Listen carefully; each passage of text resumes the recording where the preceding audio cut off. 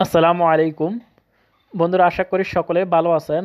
আজকের এই ভিডিওতে আমরা আপনাদের সাথে শেয়ার করব কীভাবে আপনারা ঘরে বসেই আপনাদের হাতে থাকার স্মার্টফোন দিয়ে বেসিক ব্যাংকের একটি সেভিংস অ্যাকাউন্ট ওপেন করবেন।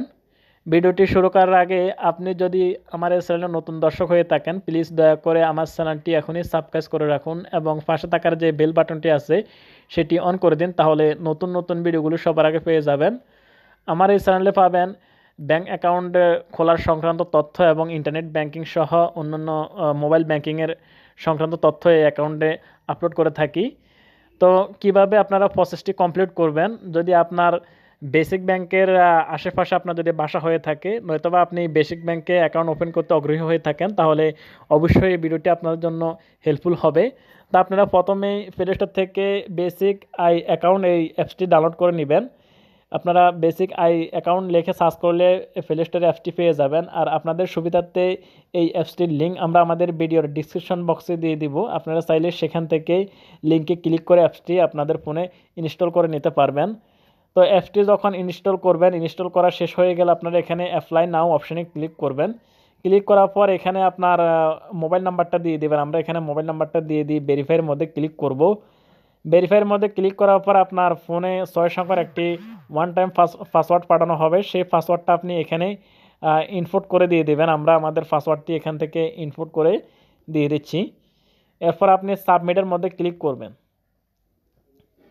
সাবমিটের মধ্যে ক্লিক করার পর আপনার এখানে এনআইডির ফ্রন্ট সাইড এবং এনআইডির ব্যাক সাইড দুইটা সাইডে কিন্তু আপনাকে আপলোড করতে হবে। এটি আপনি আপনার গ্যালারি থেকে দিতে পারবেন, নয়তো বা ক্যামেরার মতো আইকন আছে আইকনের মধ্যে ক্লিক করে ছবিটা তুলে দিতে পারবেন। তুলে দেওয়ার পর এখানে যে আপলোড আছে আপলোড বাটনে ক্লিক করবেন। তো আপলোড বাটনে ক্লিক করার পর এখানে এই অ্যাকাউন্টটি কয়েকটা ওপেন করতে আপনার কয়েকটা ধাপ আপনাকে কমপ্লিট করতে হবে এবং এই অ্যাকাউন্টটি সম্পূর্ণ নতুন, সেক্ষেত্রে আপনার অ্যাকাউন্টটি ওপেন করতে প্রাথমিক অবস্থায় কিছু সমস্যা হতে পারে।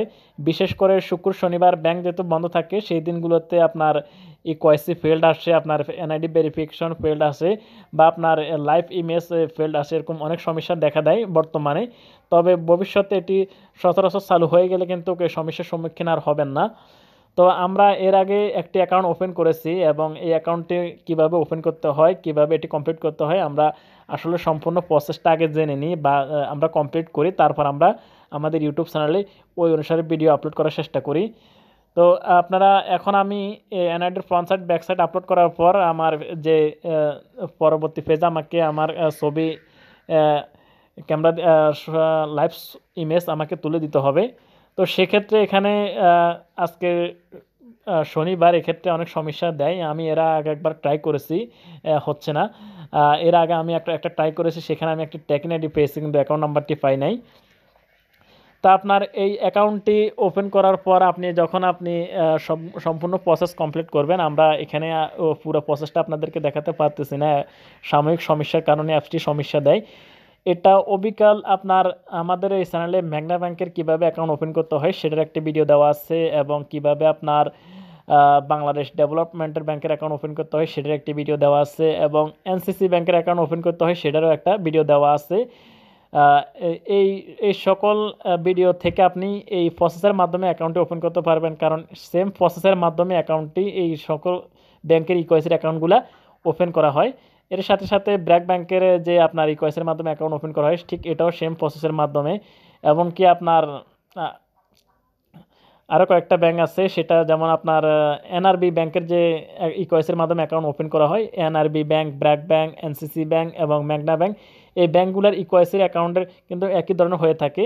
তা আমার ম্যাগনা ব্যাংকের ইকোয়েসের অ্যাকাউন্ট ওপেনের ভিডিও দেওয়া আছে এনসিসি ব্যাংকের দেওয়া আছে সেগুলো থেকে আপনি এই প্রসেসের মাধ্যমে নিতে পারেন। তো আমরা এখানে দেখাতে পারতেছি না আমাদের আজকে শনিবার, যার কারণে এক ইকোয়াইসি ফেল্ড আসে। তো আপনি যখন সম্পূর্ণ প্রসেস কমপ্লিট করার পর অনেকের যে আপনার কি অ্যাকাউন্ট নাম্বারটি কি সাথে সাথে দিবে না টেকিন আইডি দেবে, অনেকের এরকম একটা প্রশ্ন থাকে বা কি, কী কী সার্ভিস ফ্যাসিলিটি নিতে পারবেন।